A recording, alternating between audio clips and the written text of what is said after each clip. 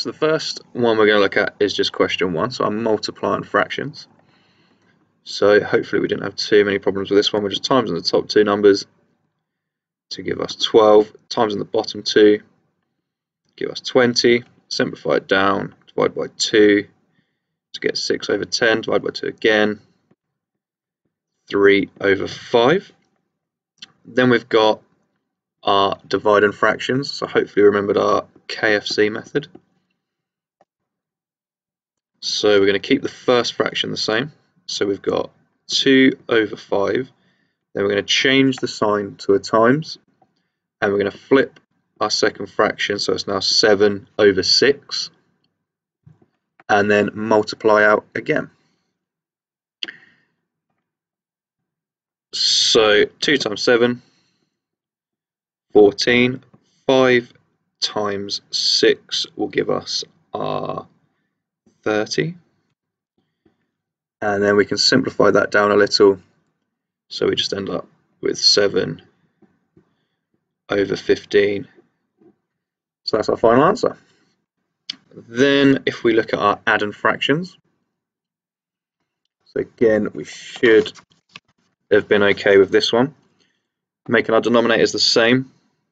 So to do that, we're going to multiply our two denominators together which will give us 54 on the bottom on both fractions. And we're still adding them together. And then we need to think what do we times our 6 by on this fraction to get to 54 we times it by 9 because we times our two denominators together. What did we have to times our 9 by to get this 54 Again, we just times it by 6 because we multiplied our denominators together. Then we need to find our top numbers by doing exactly the same. So we're going to do our 5 times 9 to give us 45.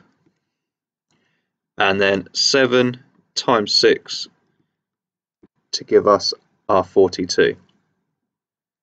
Add those together, still have 54 on the bottom, but we're going to have 87 on the top.